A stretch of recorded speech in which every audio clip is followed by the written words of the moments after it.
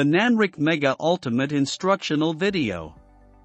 A detailed view on how to fit and adhere the Nanric Mega Ultimate.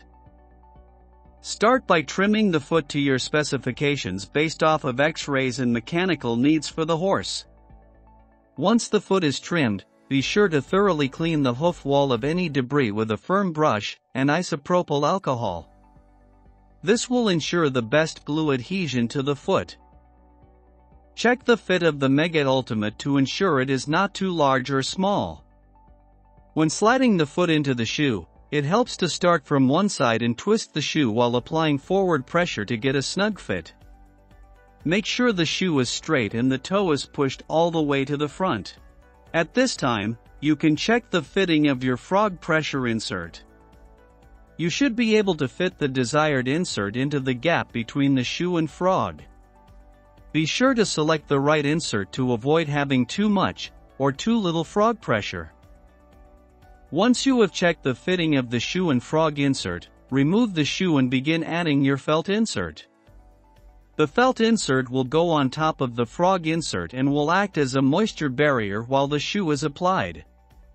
The felt insert also protects the foot from any defects in the ground surface of the shoe, and does not allow the glue to get under the foot in the gluing process.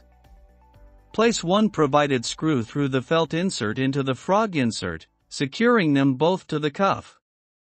Putting the screw through the felt will prevent the felt from moving when reapplying the shoe. Next, you can start applying your ground side mechanical attachments. You can start with just the bubble and shoot lateral radiographs to make sure the mechanical needs have been met. If the bubble alone is insufficient, you can add a 3.5 or 7 degree wedge between the cuff and bubble to achieve the required mechanics. Once you have determined the required mechanics, you can screw on all of your required attachments.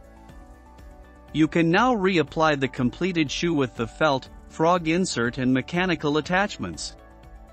If you are applying the Mega Ultimate in cold weather, you can heat the cuff with a heat gun on low heat to soften the cuff for more flexibility.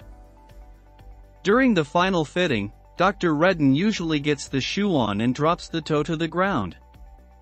This will set the toe to the front of the shoe. Double check the cuff for large gaps and flares. First secure the cuff to the foot using the number 8 pan head half inch screws. Be sure not to put the screw in too tight. You want to leave space for the glue to move through the cuff for better adhesion.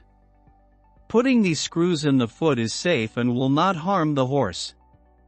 They only pass 1 to 2 threads into the hoof wall and will help for the best adhesion of the shoe to the foot. Starting at the second glue port from the back, you can now begin applying the adhesive.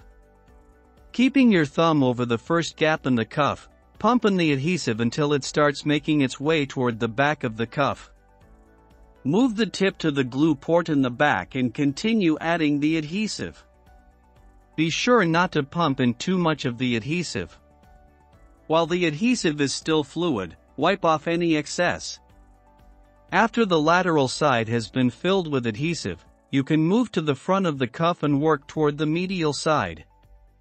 Continuing to add the adhesive into the glue ports and wiping off any excess. Once both shoes have been applied, you can begin taking your final radiographs. The first view is a low lateral radiograph. This view will show you the mechanics of the shoe in reference to the ground. The next view will be a higher lateral view.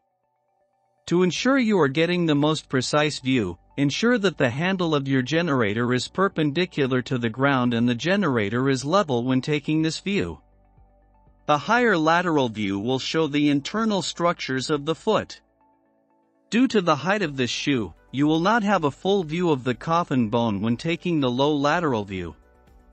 These two views will give the full picture of the ground surface and internal mechanics, and will tell you if you have achieved the necessary mechanical adjustments for treatment. These are the mechanical goals for applying the Nanric Mega Ultimate.